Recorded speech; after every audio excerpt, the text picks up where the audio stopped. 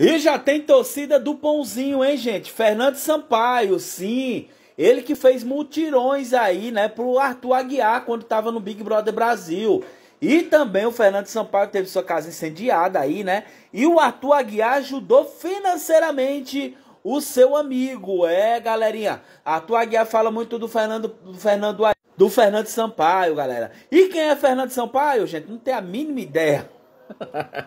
Mas é amigo do Pãozinho. Tem um Google, né? E Fernando Sampaio é um produtor e apresentador brasileiro. Iniciou aos 12 anos o teatro e participou de várias peças, com destaque para o Grande Barato de Viver, que esteve em cartaz por 5 anos. Participou de várias campanhas publicitárias na Bahia e no Rio de Janeiro.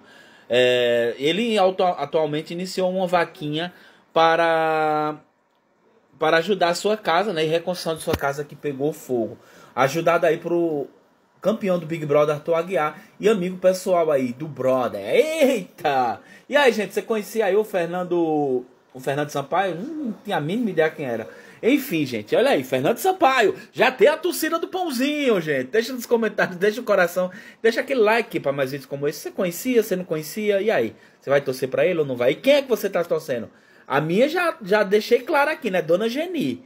Dona Geni na fita, pra mim, tá sendo a melhor até agora nessa, nessa vila, gente. Tá metendo louco. E para você que não conhece a, a, a, Grande Conquista, ele tá favorito para ir para a mansão. Porque a mansão são 100 pessoas escolhidas por nós, quem fica e quem sai. E aí a gente escolhe se ele vai para mansão ou não vai para mansão. Que aí começa a segunda etapa aí da Grande Conquista, que é tipo parecido com Big Brother, entendeu?